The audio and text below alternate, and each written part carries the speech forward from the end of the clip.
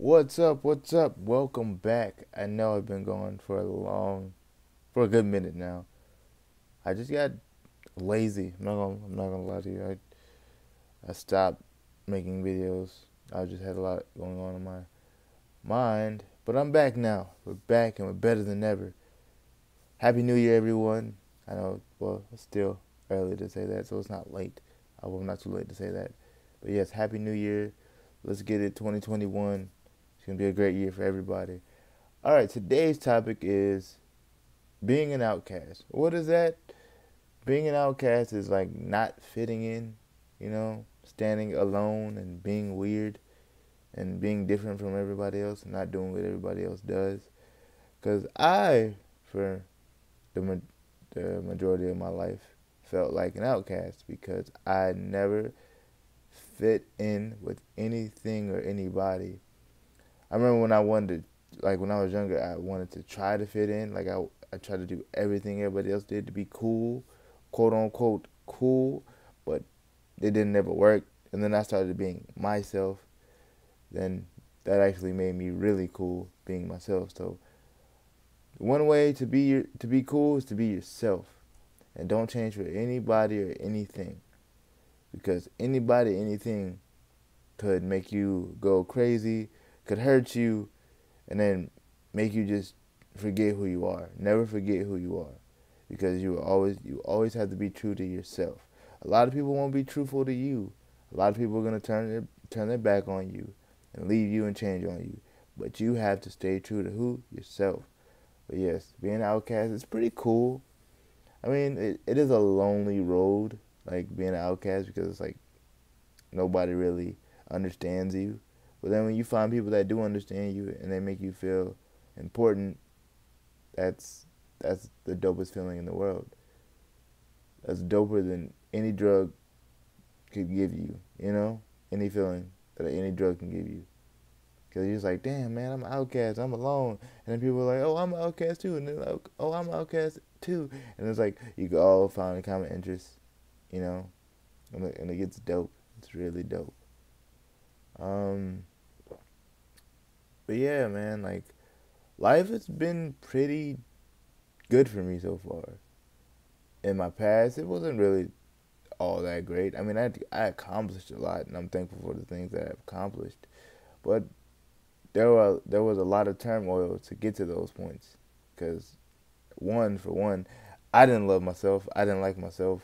I didn't care about myself at all. I didn't give a fuck about myself at all. But now that I'm doing this, I'm slowly and gradually giving a fuck about myself and caring about myself more and more.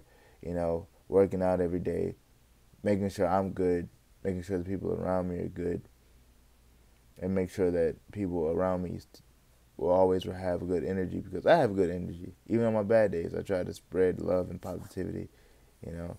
But yes, if you're an outcast, it's okay. You're the best in class. And what class is that? The class of life. Because, like, don't try to fit in with nobody. Fitting in is boring. Doing what everybody else do does is boring as hell, if you want me to be honest. So be you, and whatever you guys want to do, do it. Believe in yourselves, and the world is yours. Like, the sky is the limit. If you believe in yourself, and you just put the work in it, and you put the time and effort into it, bro, you can get anything you want in this world. You can like really it's mind over matter. You can do anything you want in this world. You want to be a billionaire? Just work hard, save your money, you'll be a billionaire. You want to be a game designer, uh, anime creator? Yo, just write some mangas, you know, give it to your friends and then they'll give it to people and then people like it, then hey, you're doing a great job. Don't give up on yourselves. Don't let your demons, your anxieties, and your depression cripple you and crumble you.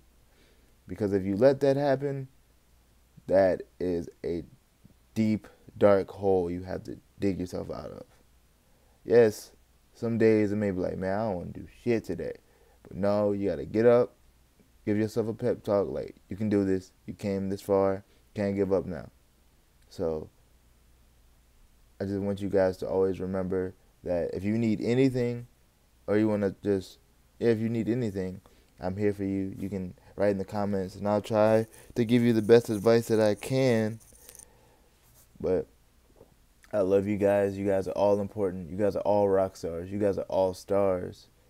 And this world is yours. So take it. Take advantage of everything.